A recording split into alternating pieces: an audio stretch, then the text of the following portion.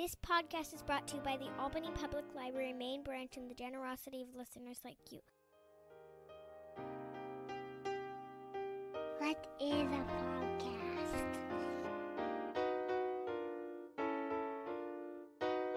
God, Daddy, these people talk as much as you do.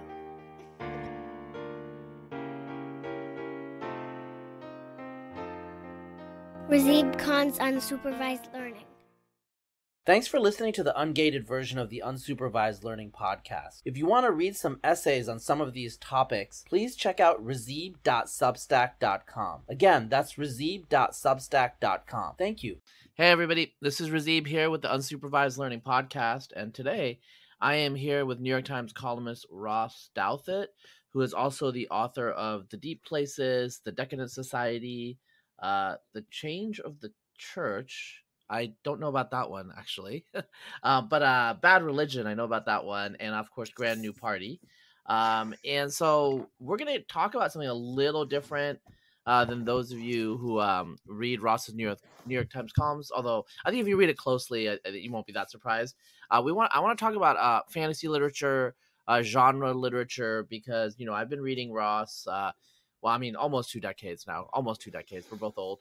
Um, and uh, occasionally he does let slip that he is a a genre literature reader. Um, and since you know I am too, but I'm not a cultured person, so um, Ross writes for the New York Times. He is a columnist, and so I want to start out with, um, I mean, do you have to justify yourself? I mean, as an educated person who appreciates the arts, uh, admitting to reading genre fiction?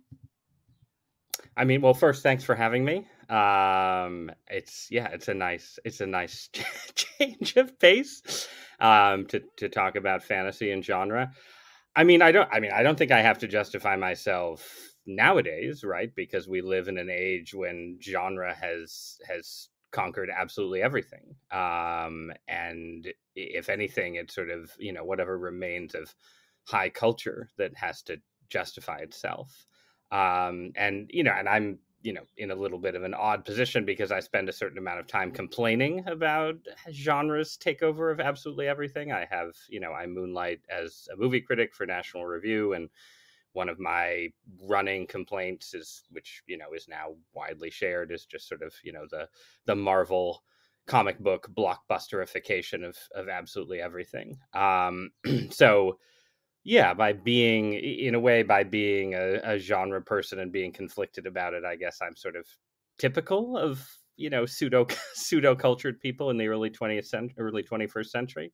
Um, but i did grow up you know everybody i was not a comic book guy in you know our lost our lost youth in the 1990s i was a sort of originally lord of the rings tolkien guy but then very much a sort of i mean pulp i think pulp fantasy eh, not true pulp like not like sort of you know whatever mm-hmm. what grindhouse fantasy you know whatever if you go back not not a like yeah. conan the barbarian guy but a sort of david eddings terry brooks eventually robert jordan like very much a kind of high fantasy sure. guy as as a teenager um and then you know, I sort of I I wrote a very bad fantasy novel as a teenager that was sort of a ripoff of all of all of those. I played around with some fantasy writing in college, and then at a certain point, um, partially or mostly left it behind. And in my twenties, was mostly reading, you know, whatever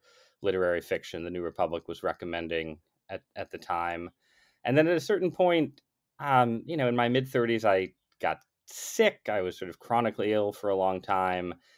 I found myself, you know, I was able to write newspaper columns, but I sort of, we also had kids. You know, your your mental your mental architecture and landscape changes, um, and I just really I sort of struggled to read sort of highbrow or even high middle brow literary fiction, and I ended up sort of coming back to coming back to genre and reading a lot of the uh, sort of rereading some stuff from my youth, some of which was obviously crap. Um, and also trying not completely I, I, wouldn't consider myself sort of a total adept in contemporary fantasy but i you know reading reading I, I, just found that it was sort of at the level that my slightly ill, slightly internet addled, slightly parenthood addled brain was uh, capable of reading. But this is it all makes it sound like I'm, you know, sort of sort of sneering at my own taste. I, I mean, I also think I'm also an apologist for for fantasy, especially. I think at a, at a certain level, I think it, I think it's. I'd rather live in a world of you know where fantasy filmmaking ma- filmmaking conquered everything than the world where Marvel conquers everything. I think the fantasy genre is really interesting and sort of does a lot of work that sort of realist literature struggles like struggles to do in certain ways. I think there's reasons that tolkien and you know harry potter and everything eh, you know all of the various emanations have sort of conquered conquered the world. Um and it's not just a case of sort of you know pulp pulp overcoming highbrow. It's also that um fantasy does some things that realist literary fiction doesn't do at all Yeah, um, uh, so there's a lot there. You know, a lot. I, I will say uh, for the listeners, viewers out there, uh, my trajectory uh, probably similar to Ross in a lot of ways. Um, I did read. You know, I was one of those uh, teens that would read the multi-volume uh, Tolkien ripoff or derivative because uh, some of this stuff, you know, there was a whole genre of uh, post Tolkien fantasy, which you know literally aped a lot of you know you know they used elves and all the standard Tolkien you know tropes. Um, you know, I, I read a lot of that, and then you know I did um when I stumbled out. So I started reading. Okay, a lot of people know this story, but I, I will tell it again. I started reading uh, Game of Thrones in uh, around January twentieth of nineteen ninety nine, Mhm. and um, I started reading on Friday night. I fell asleep and then I kept reading into Sunday, and I failed a biochemistry midterm on Monday. So, and then I got like Clash of Kings, which had just come out in hardcover. I read that, and then I told, uh, I emailed George R. R. Martin. I was like, I really like your books. Um, I, I didn't do very well on that test. And then six months later, he emailed me back to apologize. He was still responding to emails back then, you know. But so I got, Yeah. I got into this, and I I went into like I remember I went into like it wasn't like I don't know if it was CompuServe, but it was like one of those uh chat uh framework and like George R. Came and we had a chat. This was like the year 2000. Um I pre-ordered okay, I'm making myself sound really like a virgin right now. But I did pre-order um Storm of Swords from England because it was published 3 months earlier in England. And I was like, you know, I'm just to I don't think they do that as much anymore cuz you know, ebooks and all that, but um so I was really into that and I would talk to people about it and I remember, and this is this is over 20 years ago, and they would look at me like, "Wow, you're you're really too into this." And then a decade later, of course, Game of Thrones comes out, and everyone's telling me about this, and I'm just like, "What is happening here?" Yeah, no, I mean, I left, I left George R. R. Martin out of that that sort of personal arc that I just gave you, but like it's it is in fact the case that yeah, I sort of I also read the first three Martins when they came out, and that was sort of eh, I think of that as sort of like the end point of my early fantasy reading. That that and um, a series by a writer named Tad Williams uh, Yeah. called Memory, Sorrow, and Thorn sort of came out and was completed around the time I was in college, and Martin had done his first three books, and I would have said that sort of Martin and Williams were my two favorite fantasy novelists at that point. I thought they had sort of taken the genre further than you know the sort of Tolkien knockoffs that I that I had been reading reading before. And then yeah, when uh, you know when Ga- Game of Thrones comes on HBO at around sort of around the time I got back into fantasy. So I basically got back into it when everyone else seemed or not everyone else but the non-virginal population seemed to be seemed to be getting into it for the first time. And there were totally like in college there were like two other guys who I remember it was like a secret handshake. They were like oh yeah we we got Storm of Swords too and you know the red wedding blew my mind man. And um yeah I think between us we had had like 0.2 girlfriends at that at that point. So um Yeah, I, so I had to. uh Yeah, I don't, I don't know if this if I to tell people on the podcast this. I had to um kind of read furtively in college uh, because my girlfriend at the time she had some negative opinions about the genre and she would just like not shut up about it you know so i'd like go out to the park you know she's like what have you what were you doing in the park like one time she guessed you know it's like uh there's a whole there was a whole cultural um i don't know i don't want to say shame but it was kind of it was kind of like playing d&d or something you know it was one Right. of those things that like losers did Magic then, the uh, Gathering, right? It Yeah, that sort of you know, stuff. the, the guys, yeah, yeah, yeah. It was associated with role playing games. It was low. I mean, I, I would say, yeah, it was always low status somehow, even within the range of um of genre stuff. It was like Renaissance fair. You know, you're sort of that something about like at least the sci-fi guys were going to go on and you know work in Silicon Valley or something yeah but the but the fan the fantasy guys, you know, yeah, yeah, no, there there was there was no hope for them. Yeah. and then I'm sorry, and then and then as we allude to HBO, there's Game of Thrones. Now there's you know the new uh, Fire and Blood uh, spinoff that's doing well.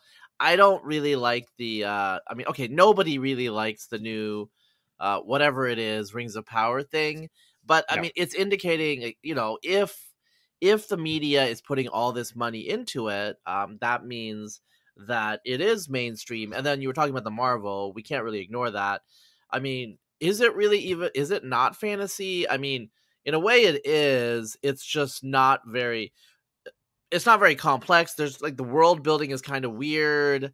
Um, and you know, but that's what comic books are the source material from. I mean, it's comic books, right? And comic books, I, when you yeah, compare, I- uh, yeah, go on, go on. I, I think I think I, I think the li- I think the line between fantasy and sci-fi is itself actually a lot blurrier than people think, and that there's this whole terrain of you know what sometimes gets called space opera or something that basically is sort of it's doing a lot of the same kind of work that fantasy novels do. That but both you know the two biggest sci-fi pop cultural things um arguably are Star Wars and and Dune with Star Wars obviously like in a league of its own and I think they both you know they're they're closer to fantasy than a lot of what you would call like hard hard science fiction certainly like you know Du- Dune I mean eh, you know it's it's literally set in a in a distant future where there's been a revolution against um, artificial intelligence and robotic technology, right? It's sort of at like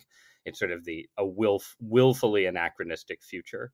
Um, so I think that line is is somewhat blurry. I think superheroes are doing are doing something quite different, even though there is yes some sort of overlap in terms of like how they play off mythological tropes and and so on. Um, but I, I think that I think that that's uh, you know s- superheroes are sort of the the appearance of godlike beings within the modern landscape and whatever fantasy is doing the important thing is that it's creating a different it's it's it's a different landscape from our own that's that's i think Yeah. sort of central that it's it can be a landscape that's in transition to modernity and in fact i think a lot of what makes fantasy interesting is that it is about the transition to modernity in different ways but it can't just be you know i mean you can do the modern world and people leave it to go somewhere else there's a lot you know this is what narnia is right this is you know thomas a saga of thomas covenant to pick uh, you know titles from our from the 80s Yeah. and 90s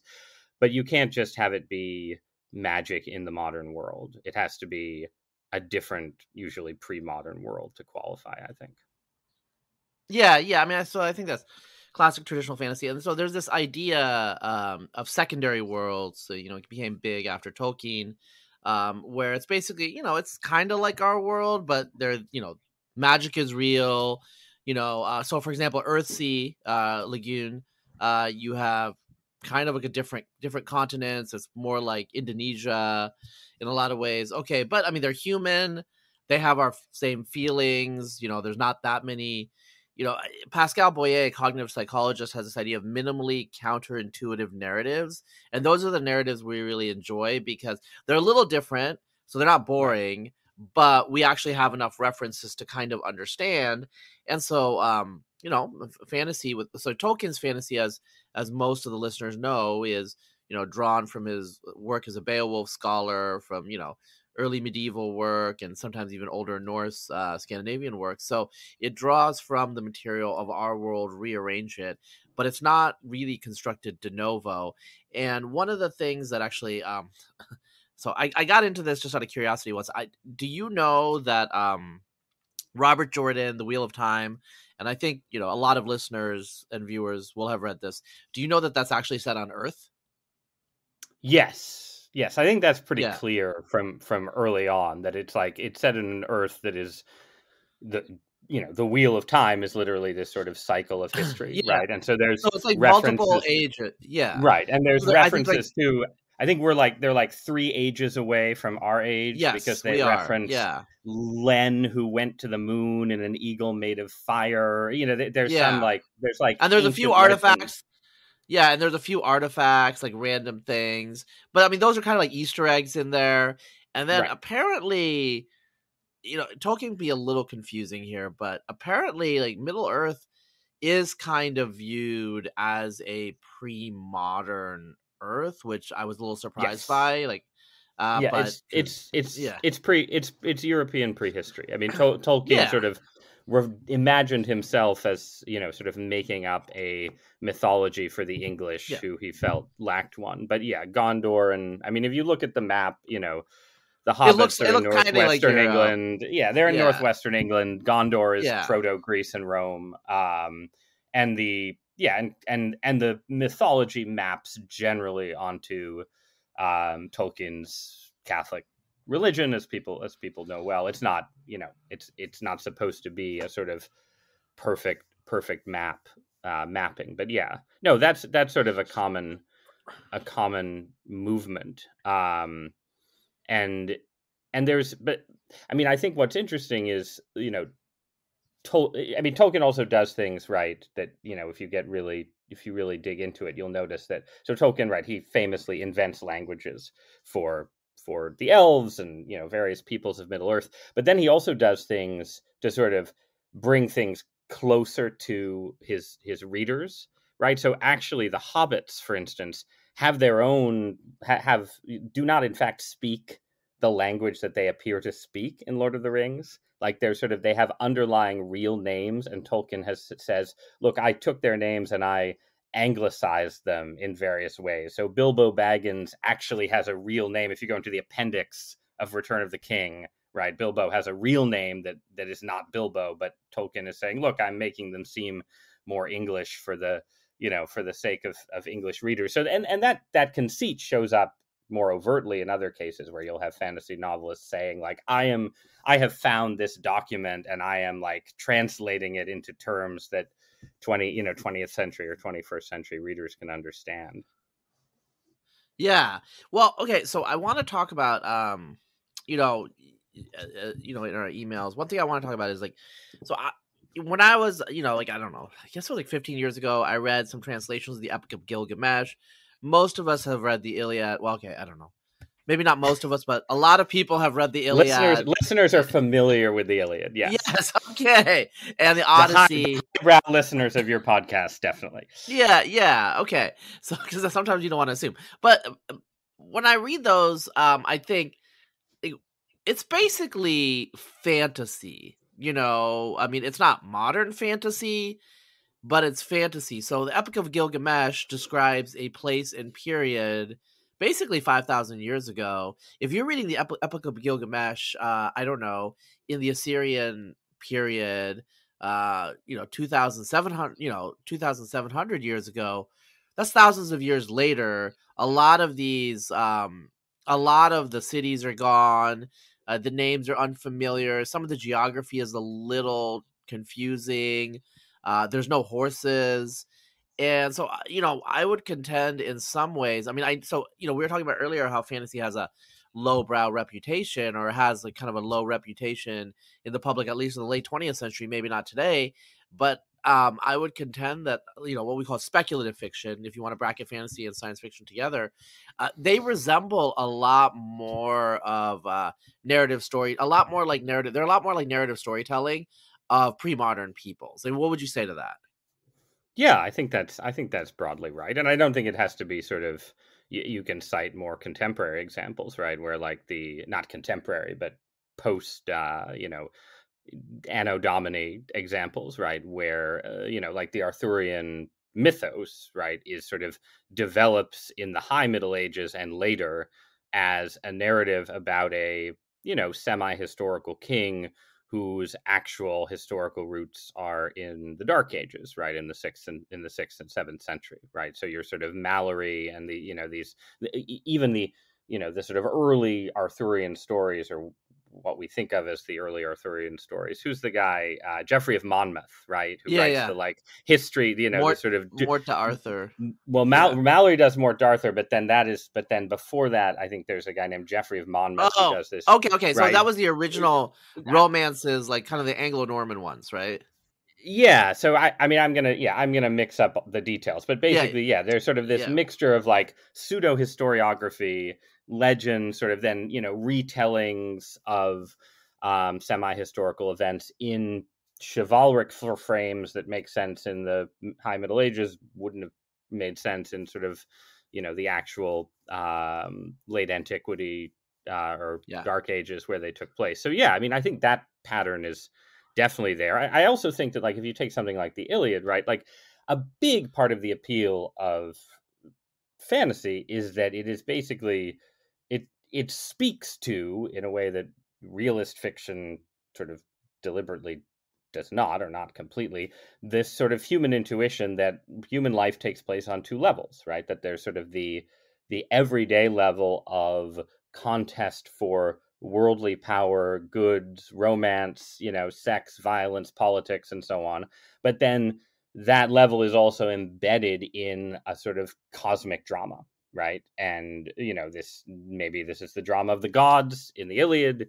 It's the drama of you know the the, drama of christianity. Uh you know it, it's it's it's some kind of you know the the what we do in life echoes in eternity line from gladiator is it's it's always sort of being made sort of literalized by fantasy right? So you know you see this with game of thrones. You have the you know the the a plot of you know sort of recreated medieval politics where the stakes are sort of you know immediate immediate contests for power in a um you know low magic setting right? And then behind it you have some kind of cosmic battle which since martin never actually finished the saga and you know you can't really rely on the terrible Exactly. last two seasons of the show we don't actually know you know eh, martin's the the, the fundamental theology of the martin novels is still a little bit opaque but there is some sort of fundamental theological principle at work in most fantasy that that again sort of coexists with with this sort of more everyday form of politics. So it's not just story it's not just myth right? It's not just stories about the gods. It's stories about ordinary human beings operating in a landscape where their ordinary battles are sort of being caught up into into a cosmic a cosmic sweep. Um Yep. and you know fantasy then i mean fantasy can sort of it- it can sort of separate out those elements again right so you have i mean there's lots of people who only liked game of thrones for the historical recreations and and I, I Mhm. think the showrunners might have been among those people they sort of seemed a little bit bored and embarrassed by the magic stuff and we're like sort of all right well Yeah. you know we'll, we'll kill we'll kill off the white walkers pretty quick and get back to the you know the uh, middle ages plus dragons um plot uh but you know you have fantasies that are you know very very low magic that are just sort of like you know just sort of historical fiction where you don't know the ending and that's and i mean that and that is a Yeah. big a big part of I mean, certainly to me as a reader, it's part of fantasy's appeal. I like historical novels, but in historical novels, unless you're reading Harry Turtledove, you know, you know, in the end, Yeah, you know the and outcome. you know what's going to happen to Anne Boleyn. You know what's going to happen. You know, Wolf Hall is brilliant, but we know the ending, right? Um, and that that doesn't knowing the ending in advance doesn't preclude literary greatness, but there is sort of as a reader enjoyment in just not knowing what you know how the Starks and Lannisters um, are are going to end things up. But I, I think to the extent that fantasy sort of achieves real artistic liftoff, I think it has to be in this sort of combination that the the sort of the more purely magical fantasy gets, the less interesting it is, and the more purely, you know, we're just doing historical fiction. I think the less interesting it gets. There's sort of a an ideal fusion there, a mix that's often again about you know Le Guin. I don't love Le Guin, but there's sort of a neat perfection to her to her books, and they are in their own way about like you know the the end the decline of magic or the restoration of magic, and that's that I think um, if there's an essay that uh, Alan Jacobs, who's a, a, professor, an English professor, um, who wrote about fantasy. I think for the New Atlantis many years ago. Yeah. It was basically. Well, he, used, oh, he, he, used to blog with you at the American right scene. at the American scene. Yes, yeah, yeah, yes, back in the day. But I that that essay has been sort of a touchstone for my understanding, and he spends a lot of time arguing that a lot of fantasy is about sort of you know this sort of disenchantment and reenchantment and sort of the world in this state worlds that are in a state in between enchantment and disenchantment and sort of moving back and forth between them like in tolkien the elves are leaving right? Like you know the the the victory the victory for white magic also ends white magic yeah and so um I, w- I want to talk about tolkien uh because uh you know you mentioned that was a big deal when you were younger and i think uh yeah it was same with me in elementary school i remember in sixth grade it's around like 1990 and uh like a bunch of us in the class mostly guys but not exclusively guys we just decided to start reading because like we'd read the hobbit for class or something and we decided to read you know lord of the rings series and i remember it was like i mean like it's like tiny font like this was you know, I mean, it was it wasn't like trivial for a sixth grader, but it was something that we did. And then the teacher like showed us like uh, I think it was the Ralph Bakshi, like the incomplete uh, oh, yeah, cartoons. Yeah. yeah, remember those? And so that was like a whole thing. Um, and but at the time, because this is before the internet and Wikipedia, um, I vaguely knew that it was written decades earlier, but this is, you know, almost 40 years after they originally came out, right? And The Hobbit was what came out in the 30s. Um, you know, Tolkien had died, you know, 20 almost 20 years earlier. Um, so obviously Tolkien and Lord of the Rings uh, looms large over any discussion of fantasy. I mean, English speaking fantasy for sure, but I think just fantasy as a whole. Like as you implied earlier, there's so many Tolkien knockoffs. I mean, Terry Brooks and the Shannara series there's the, whole the sort of there's whole yeah. like yeah yeah the Sword of Shannara, which is one of those sort of you know what I would think of as the pulp books that I that I read as a teen is just like a beat for beat rec- yeah. recreation of of Lord yeah. of the Rings in this amazingly shameless way. Um, yeah, and he made a lot of money off it. He made a lot of yes, money he... off it. So I mean, respect. Respect, and he, and he wrote many more novels that were less less knockoffy. So you know, I mean, you do what it takes to get started. Yeah, I mean, so I mean, I guess I'm going to ask you like um why do you think uh Tolkien uh is so su- seminal cuz I I reread some of the stuff and uh he's not like, you know, for the listeners out there that are into this like uh, Gene Wolfe like okay, like that's like a prose stylist, a genius yep. there. Uh, Tolkien's not necessarily a prose stylist. Like some of the stuff is good, but some of the stuff is like whatever, you know? Um, in terms of the plot, it can be a little bit slow sometimes uh, compared to some of the stuff that you read today. Uh, so, I mean, give me your take for why Tolkien, because I mean, this isn't an argument. He's incredibly right. influential. He's like the giant, the looming over everything. Why? Why is he such a big deal? Right. Well, I mean, there's two arguments you can make. One is just that he is the first to do to sort of on that scale attempt what you used the term earlier secondary creation right? The idea that you're not just telling a sort of fairy tale that's in a long ago and far away you know you're not just doing a sort of historical thing. You're not even just doing like a sort of visit to elfland kind of deal right? Where someone goes through a door and ends up in in fairy. You're trying to create even if it is technically our world a full you know a fully persuasive um alter you know alternative landscape with its own history its own personalities its own deep myths. You have layers in tolkien that i think work much more effectively actually in lord of the rings than in the sort of in the Silmarillion, the sort of you know, I I'm I'm a much bigger fan, you know, of the uh, of the core Tolkien than I, would much rather reread Lord of the Rings than read than read the Silmarillion. Be, but part of what makes Lord of the Rings work so well is this sense that like everything that's in the Silmarillion is sort of implied in these small grace notes throughout the book, and then sort of distilled in the appendix to Return of the King. So yeah, I mean, even even independent of the of the sort of specific storytelling, Tolkien achieves something at a depth and scale that hadn't been even really attempted before. You can cite some antecedents, but not at this scale. Has a skill set as you know a, a, student of languages that enables him to basically make this richer, like than eh, almost any successor could possibly attempt. Like there's lots of things that subsequent fantasists can do better than Tolkien, but nobody's matching him for like sort of the linguistic credibility right of of the landscape he builds or it's you know or it's sort of effective connection like you know as you mentioned you said sort of the deep deep scholarship of northern europe that goes into this this particular sub creation is just really really hard to match. Um you know in the contrast he was friends with cs lewis right and lewis writes the narnia books somewhat contemporaneously.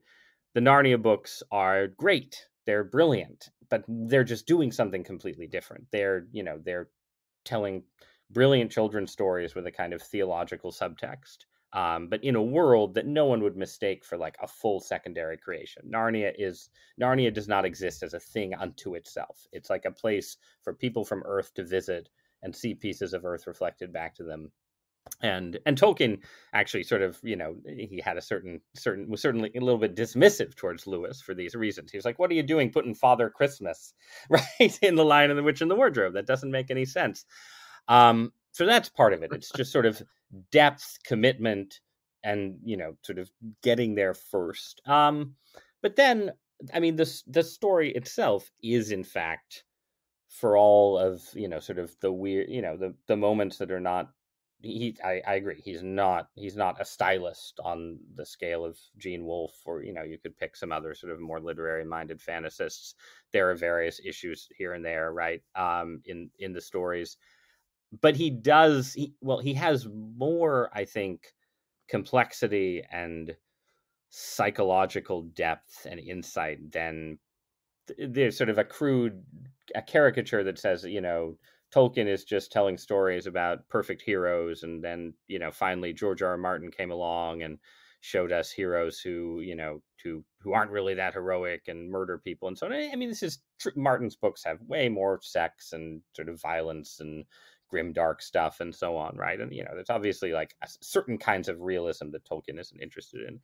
But in terms of like, you know, the psychology of addiction, right? And sort of the nature, the nature of power and temptation and so on. There's lots of real, you know, there's the idea that like everyone in Tolkien is black and white is absurd. Tolkien is filled with characters who, you know, Saruman and Wormtongue and Denethor, who are sort of on on this spectrum well, in between. Even Frodo at the end.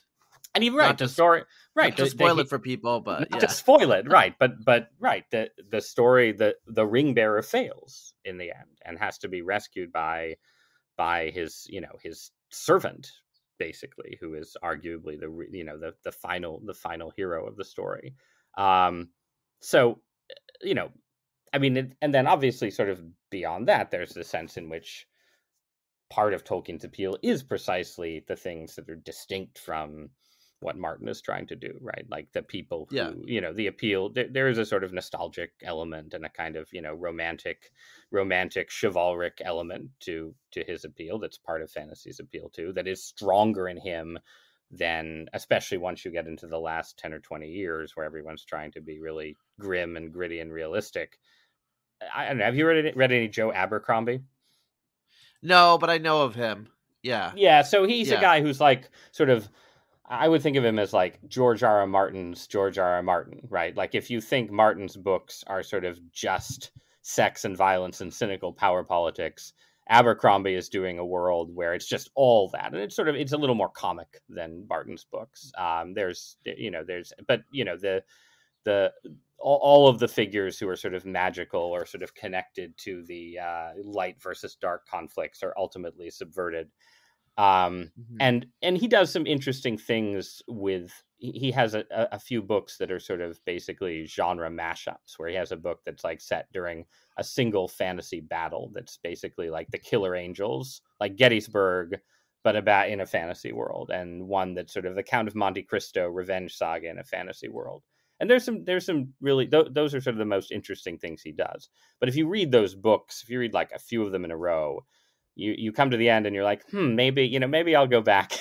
maybe I'll go back to to Tolkien, you know, to Tolkien's Yeah. heroes, right? That sort of the genre can be pushed so far into grimness that you know you can see why this sort of Yes. you know this sort of pre-modern aspects of it.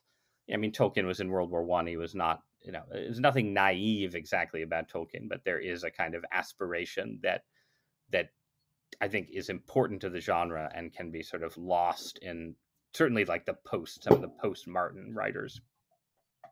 Yeah, so I, you know, I'm gonna say something here in terms of, I think the reason that I really enjoyed Martin was uh, he kind of brought. I mean, his world building is different. Uh, it's not better or worse. It's just somewhat different, I would say, uh, than Tolkien's world building. So it was rich, but also, uh, yeah, maybe I had read too many kind of Tolkien ripoffs where it was kind of like trying to be epic, and you know, I don't want to say sanitized, but you know they didn't show kind of like the blood and guts of of reality in the medieval world. So you Yep. know you encounter martin and you're like okay like this this this you know shit's getting real here. And um you know i enjoyed that but i have to say um i don't read that much fiction anymore like maybe when i'm sick and i can't concentrate on anything else i do um and so i'll read things and i'm like you know i don't want to you know what like i'm just like kind of tired of the darkness like it's kind of like exhausting me and um what i tell a lot of people is people watch game of thrones the tv show um to me what's always striking is ramsay bolton on the show is less disgusting evil and perverted than he is in the books and uh that's just like i don't really understand But it's but it's but it's different with TV. He's less, but it's everything he does in the books happens off stage, right? Like the, I mean, to me, the difference it's it is true that if you go like event by event, there's plenty of stuff in the books that's darker even than what's in the TV show, but it's n- the film is just a different kind of medium and you're lingering over things and showing them rather than showing rather than describing but also showing things that the books sort of say oh you know well this happened. This guy got tortured and castrated. And the books are like and the show is like let's watch him get tortured and and castrated. I mean i i sort of stick up a little bit for martin on the uh, in the sense that his books are not like they're not purely cynical, right? It's like okay, you have the Starks and the Lannisters, and it turns out, hey, the Lannisters are complex and interesting. They aren't just like cardboard bad guys, but fundamentally, the Starks are the good guys, and the Lannisters are the bad guys, right? And um, you know, and and I mean, I again, we don't know where he intended the story to end up, but there is you know the, the the white walkers do not seem fundamentally like a morally ambiguous force it seems like it would be good if they were defeated um and even you know martin has a sort of attenuated version of christianity a sort of you know a sort of polytheistic church that somehow has christian ethics which doesn't make a ton of sense but sort of it's like it's basically like a weaker form of medieval chivalry sort of hanging around in the background um Yeah. so i don't i don't think martin is sort of full he's he's like halfway to full grimdark in certain ways um but and also Yeah. but what he does what he does is plot like and this is again why the show fell apart once they ran out of his books right but martin it's just Yeah. like the plot you know the unexpected rever- the reversals the sort of plot dynamics that just up through storm of swords especially i mean i think he had already started to lose his way when he got daenerys trapped in meereen in the in the in the fifth book but storm of swords like what he does with plot reversals and drama in that in those books is just really effective and that's aside that's sort of a marriage of fantasy tropes with the larger genre of like pulp paperbacks, right? Something Stephen King at his, you know, at Yeah. his best, or Tom Clancy, right? To take sort of our, you know, our 1990s, you know, 1990s analogs, like bringing in the general sort of paperback plotting to fantasy, I think was Martin's Martin's biggest biggest artistic success in a way. The shock of like, I mean, if you reread the Red Wedding scene in Storm of Swords, it's just really, really well done. Where you're reading it and you're like, Yeah. something is really, really wrong in this scene, and it just goes on for pages and pages and builds and builds to the you know the the horror right at the end. Um, and even there, that's a good example. The show like adds you know the stabbing of the pregnant woman in the stomach. Like it's just like there's the show was always um i think i somebody maybe it wasn't me called it like goring the lily instead of gilding the lily like adding one Mhm. extra layer of of stuff i don't know Yeah. Well, so um, I want to ask you, uh, you know, the the Rings of Power. You know, there was some stuff. Well, actually, like a lot of it was on YouTube. Uh, uh about you know how they kind of made it woke. There was a little bit of that in the House of the Dragon, but I feel it was kind of fake. So that so just for the listener and viewer who don't know what I'm talking about, House of the Dragon, they made House Velaryon black, basically. Um, and they're supposedly pure Targaryens, just like uh well, just like the Targaryen well not pure Targaryen, Pure, pure Valyrian. Valyrians. Yeah, and so it's like they never really explain it. Um, but whatever. Uh it kind of is like not a big deal and they never really explain it so in a way it's whatever you kind of forget about it but when it comes to the rings of power um, there's like a black elf and there's like clear indications that people are racist against him and it just seems really weird because i watched it mostly because i wanted to anyway i just wanted to like watch it so i could know what i hated you know like i kind of already suspected i wouldn't like it but i decided I, I, i'll watch it. So i watched the whole thing. Um, one of the things that i've written about um, i've actually like you know written about i don't read, read about fantasy that much but when people try to make fantasy quote woke um a, to me a lot of it kind of fails because a lot of uh, the modern egalitarian social justice ethos. I mean it kind of works in star trek. Star trek was kind of built like that uh, in a post-materialistic world. That's not what fantasy is. Like fantasy is like literally like a throwback to older structures and you're rearranging older structures and it just seems a little weird. It seems it seems like just really implausible to me when they interject um you know they the elves show the elves will take all our jobs. That in in Yeah. Rings of Power where they're I- like the, the they're like the elves they're they're immortal. So you know they're they're the immortal illegal immigrants stealing our jobs. Yeah, Yeah, I, I mean, mean, that was Rings- I mean, that was yeah. really hackneyed yeah i mean the Ring, rings of power I, I don't know if it's i mean one i thought it was basically terrible like it had a few good elements but it seemed to be made unlike unlike house of the dragon by people who had no special affection for the source material and had been given a ton of money and were able to like conjure up some really beautiful visuals and and sort of nothing nothing else. Um in terms of politics i don't even know I mean, you eh, eh, you mentioned the sort of like minimal. uh, What what was the phrase? The minimal believable difference. and or- minimally counterintuitive minimally not minimally counterintuitive, right? So so my yeah, I mean my complaint about what they do with race and ethnicity in that is that yeah, if you want to set up a fantasy world that has racial differences, that's great and there's lots of sort of interesting things you can do playing around with that and sort of subverting expectations because obviously ra- racial and ethnic differences you know are are themselves part of part of the pre-modern world even if they are sometimes interpreted differently. And like you know again le guin's novels um you know are set in a world where almost everyone is brown skinned except like these white you know viking like bad guys who come but they're evil. right? The evil the evil well they're not i mean you know the the the w- one of them they're is- complicated themselves yeah right not- they, yeah. they they're complicated too but the but in rings of power it's just this sort of thing that is now done in lots of shows where you know you ha- you'll have a civilization and the civilization will every civilization will be sort of perfectly multi-ethnic in some weird way right so like the island nation of numenor which is supposed to be this Wait, wait, wait, oh, wait, I gotta say mm-hmm. about Numenor. Numenor's demographics are like a medium-sized midwestern city. right? Yes. It's just like Eh, like kind of mostly white ethnic, and then there's like a large number of black Numenorians there. And I'm not talking about black Numenorians like in Tolkien. Right. Like the Yeah. nerds out there would be like, wait a second.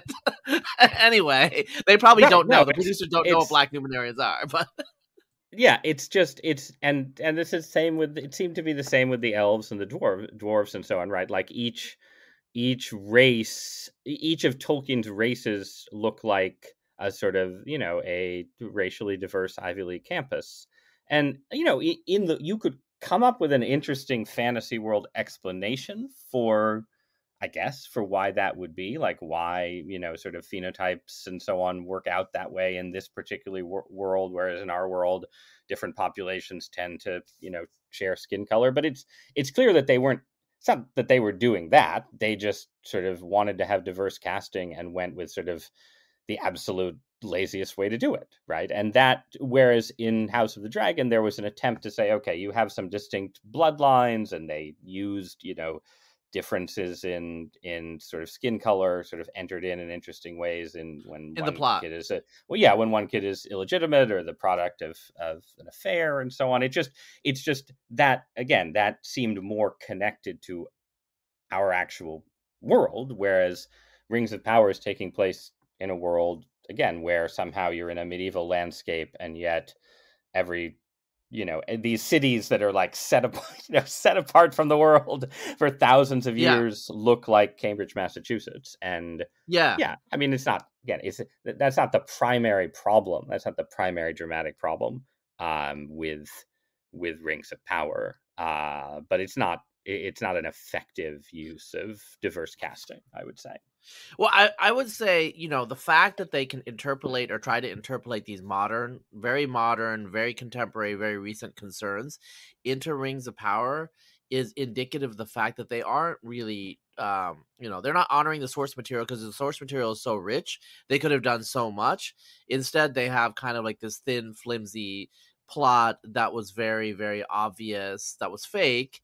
Uh, and then, you know, they have a lot of special effects. And now they just got to like put some stuff in there to kind of fill it out you know? So like okay add that weird you know the elves took her gerbs scene. Okay like that's super weird. I mean everyone i mean i think most people probably laughed when they saw it because like it just like seemed weird. And then there's you know you know situations where like okay like there's racism against the elf but it's not because he's an elf it's because he's a black elf. I, you know and then of course was like, it uh, I, I i i thought it was just supposed to be anti-elf racism and then it was just Okay, so like- maybe maybe maybe it's a little bit more subtle, like, but I yeah, I don't know. Eh, The whole thing seemed. I mean, that, that you know that kid got got what what was due to him, of course, because he's you know evil, you know bigot. But I don't know. well but right and they i mean the show generally had i mean i was praising martin for his sort of taking like pulp novel plotting and bringing it into fantasy. Rings of power took basically the sort of jj abrams like puzzle box or puzzle whatever mystery box style of tv where it's like who is this mysterious character? What is his pl- plan? We can actually probably tell what's going on already but you know sort of trying to like do these sort of lost style mysteries within the framework of an epic fantasy saga. And you know there's ways to do that like i mentioned before tad williams his memory sorrow and thorn trilogy has this kind of unexpected reversal at the end where the prophecy turns out to not be quite what you expected. Like you know there's ways to do sort of plot twists but in the rings of power series it was just clearly like we are imitating serial television and trying to like drop clues for people but in fact this is a you know it's a well established mythology like that does not does just does not lend itself to that to that kind of thing and yeah and doesn't yeah no that that that Well, was yeah, and so you mentioned Tad Williams a couple times. I do want to give a I think give a shout out. Um, he i- is uh the the Marvel movies, obviously, like su- superhero movies, the, the sort of as much as they annoy me, you can. There are plenty of examples of fully successful superhero blockbusters, and we just have a lot for all the experiments in fantasy TV. We have a lot fewer of those. The Jackson Lord of the Rings movies worked. The Jackson Hobbit movies are terrible. Um, Game of Thrones worked until it fell apart. Um, House of the Dragon's okay. But then you know the the Wheel of Time series that Amazon made is not very good. It, you know it's it's it's proven hard to translate fantasy. I think. Can you, um, Ross? Can you talk a little about uh, writing fantasy yourself and how that felt? Like, because you, you've done it recently. Yeah, um, sure. I yeah, I mentioned that I sort of experimented with writing fantasy in high school, and then in addition to sort of going back to um, reading fantasy in the last five to seven years, I also sort of went back and took the bones of a fantasy novel that I had worked on a little bit when I was like 23 and tried to sort of work through it and flesh it out and turn it into a, more of a real novel. Um, and and that novel exists in some way. It's like 600 pages long. It's the first book of a trilogy. Um, it doesn't have a publisher. It may not deserve a publisher. Uh, interested listeners can go to my Substack, douthat.substack.com, and I put up the first two chapters because I've basically had to turn to other projects. I'm not, I'm just not sure what I'm going to do with it, but um, I'll probably turn back to it. You know, the main the main challenge is that my day job is fairly hectic, and good writers of fiction, I think, are fully committed yeah. to it. And you know, the advice I got from some a couple real fantasy novelists was, you know, if if publishers are passing on it, it probably means you should just you know put it away and try a new project at some point, which unfortunately means for me would be like 10 years. I'd have time to start something afresh. Um, but it it's a you know, it's it's a fairly conventional sort of fantasy story um, where it's sort of, you know, set in a set in a kind of like post-Roman Empire landscape where there's a rising imperial success sort of successor power that conquers a kind of Welsh style um, landscape in which there are sort of fairy powers. Um, and I'm interested in that stuff in part because of my interest in our contemporary society, where I think we're having a kind of comeback for religious idea or sort of spiritual interest in like intermediary powers between God and sure. human beings. That you see this in various ways with the return of witchcraft, um, you know, even like, you know, AI, UFOs, um, even, you know, uh, DMT and ayahuasca experiences all sort of fall into this category. Um, so I'm, I'm sort of interested in that, that kind of, uh, that kind of sort of supernaturalism as it plays out uh, in in a fantasy landscape.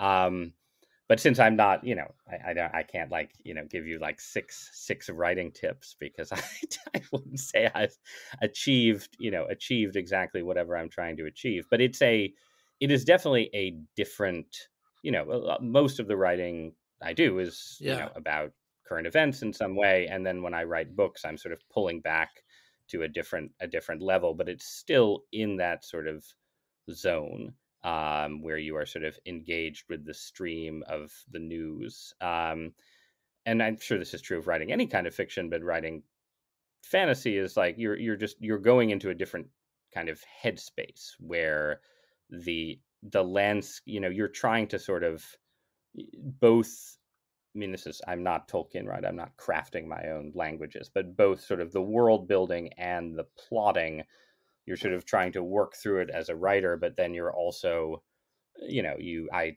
you take a trip to lake george or something in upstate new york with my family right and i'm there and i'm like hmm you know this sort of landscape yeah. of military landscape with these two lakes lake george and lake champlain that are sort of almost connected to each other and wouldn't it be interesting to sort of you know have part of the landscape of this empire i'm writing about have sort of two lakes similarly connected in the you know you're sort of again taking pieces of the real world and um, sort of pillaging it. And yeah and, and it's it is you know you do sort of feel a little bit the way like the sculptors sort of claim to feel where you're chipping away at marble and revealing something that in some way you think was there was there all the time right like I, there's definitely a sort of element of that even for even for an unpublished novel right that you you feel like you are sort of you are not merely inventing something you are also f- discovering something that there are ways in which whatever you're finding is something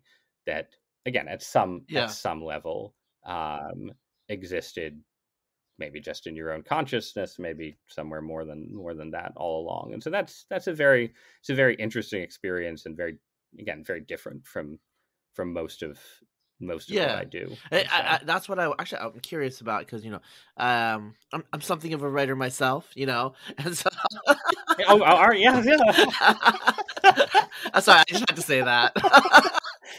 The the well, you the ten thousand word you know Harry Potter fanfic of yours. You know, I've I've, I've read I've read that. anyway um but um so you know when you're reading when you're writing nonfiction you, you know you're really i mean you've written books but uh, you also you know do these columns that are restricted i think sometimes you do blog posts on the new york times site so those are obviously a little more freeform but so it's constricted or not okay it's got like a framework that you use for this nonfiction and then now you're doing okay you're creating a world and dialogue and stuff um when you're writing does it feel different? Like you know kind of like you know so for example if i'm writing something okay i know it's going to be four parts four to five thousand words each and it's like you know like recently i just completed the history of like iran or whatever right? I know what the ending is i got some beats that i gotta hit and then i fill it in with some anecdotes and you know interesting illustrative examples et cetera et cetera. Um you know so okay there's i've got a process. Okay what if i was gonna write i don't know like a short story set in the court of xerxes? Like okay that would be totally different right? And i don't really know like how that would feel. Does it feel different? Because you're writing in both cases you're writing but psycholo- are you in a Yeah, different feels- different I mean, headspace Yeah, it's completely different. It's I mean it's a little bit. I I wrote a book about uh, being sick with Lyme disease. Um, that is you know in its own way kind of a, you know a sort of supernaturalist weird weirdo like you know going into fairyland kind of story um and even that is just quite quite different from political writing and even you know even sort of the kind of historical narratives that, that you do where you're just it's storytelling and sto- i mean obviously like history writing history is a form of storytelling. I do some storytelling in my columns. I'll be like let me tell you how the republican party got from here to there. But there's sort of there's just a different like in in in memoir and fiction the storytelling is just much more primary and you're very aware um and again i i've not published my fantasy novel so i'm clearly not aware enough right but everything else you're doing serves the story right and you know and probably i mean even just in the piece of the fantasy novel I, I put online, uh, you know, a lot of the feedback was like, oh, you know, this prologue that's pure narrative is great. And then the first chapter where you're sort of trying to start the world building gets bogged down and you're giving us too much history, right? And so on, too much backstory. And that I think is, you know, a good example. I mean, you, know, you see this in fantasy all the time. Like, what is there's a desire to do world building, but how do you do it in a way that fundamentally is sort of pulling pulling the reader through the story um, and that that i think is the sort of one you know just one one way to think about the core challenge but it's also you know i mean it's it's freeing right uh, i mean so much i mean so much of what you do as a newspaper columnist is even even though the internet allows you to write longer pieces than you used to and i have a lot of freedom and can write longer essays and it's you know lovely there's still just something very freeing to me about having a blank sheet of paper and saying, "Well, here, let me let me tell you about a kingdom that never existed and a person you never met." And you know, it's you know, you can you can go anywhere with that. Um, so well not not any you know, not successful, successful control, or not, right? you have you have control in a way Oh yeah. yeah, Well, right. No, you can't. Well, right. No, and as I said, what's interesting, yeah, is that you can't actually go anywhere. That the story, in the end, sort of pull, you know, sets the parameters. But you're discovering. You don't know at the outset what the parameters are, or where you know which threads are going to go nowhere, and you have to spool them back, or you know which events are going to surprise you, right? Like but but there is sort of an element eh, again you get this a little bit in a column you'll be writing a column and you'll say oh you know this argument didn't occur to me until i'd written the first four paragraphs and now the column will take a swerve that i didn't expect so again it's not it's not completely different um but there is you know when it's imaginary people and imaginary events, there's something sort of more more startling and gratifying in a way about things happening that you didn't expect to happen when it started out. Things, you know, Stephen King's on writing, his book about writing is quite, which is quite good. You know, talks about this sort of he call it talks about like the boys in the basement. I think this idea that like there's sort of work going on as a writer of fiction in your mind that you yourself are unaware of that surprises you. Um, and I think that's yeah, that's definitely more true with fictional creation than it is with um, you know just with the the stuff that's the bread and butter in different ways of both of our professional yeah. work. Um and and the freedom too right? Like again you're writing you know you write these sweeping these sweeping i won't call them blog posts because they're on substack right? But these, these sweeping historical essays. Um but at the end of the day you were you were constrained by you know what what happened in the actual persian empire right and um and that constraint is you know important yeah. you want if you're accurately describing history but there is something something yeah. cool about saying well what if you know what if it was a little bit different yeah i mean I, I think the thing that's great and you know i talked when i when i was chatting with george r. r martin like you know literally 23 years ago now um you know our our peer, our peer, as you know, our fellow writer. Okay, yeah, right, yeah. But uh, you know, he like admitted he admitted straight up like what he was like mining in terms of like, oh, he read a history of the Avars, he put that into the Dothraki. Like he knows in his own head, right? And you ask him, he'll tell you.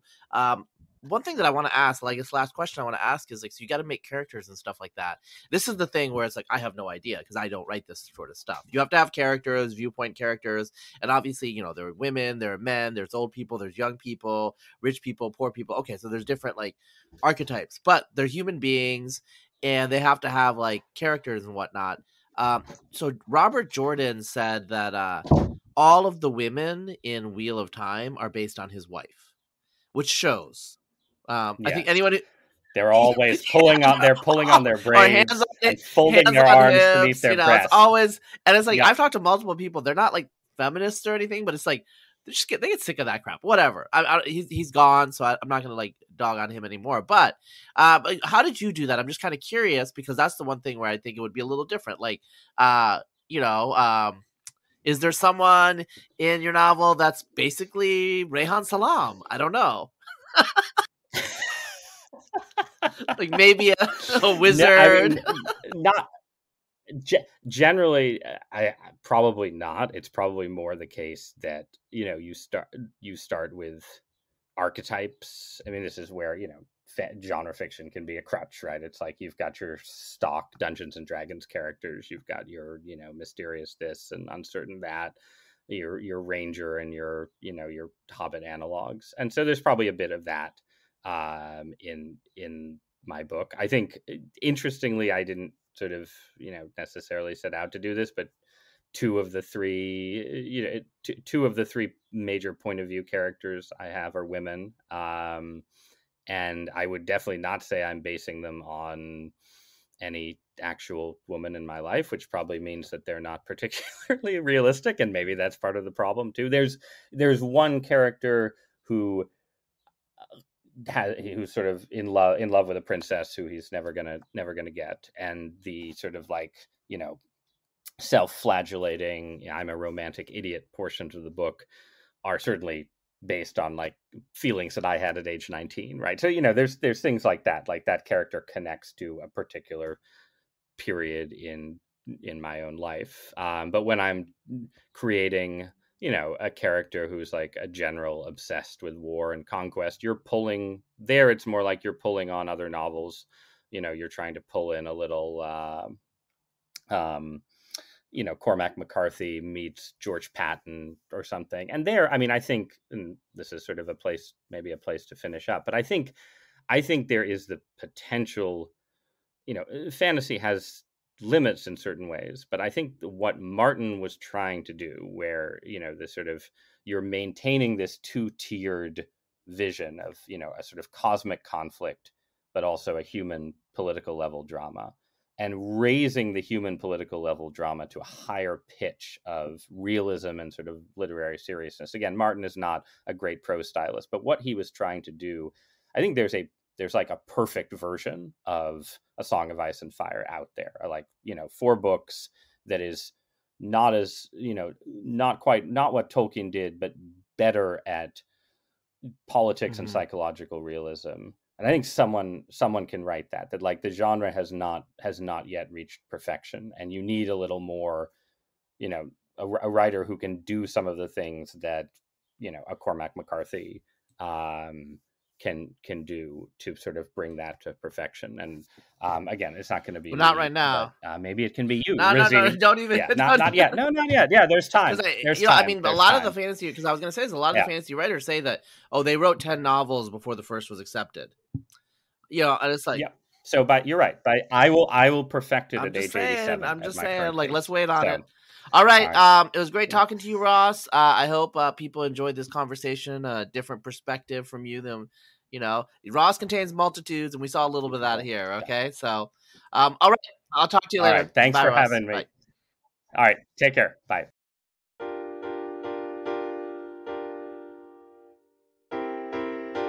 This podcast for kids.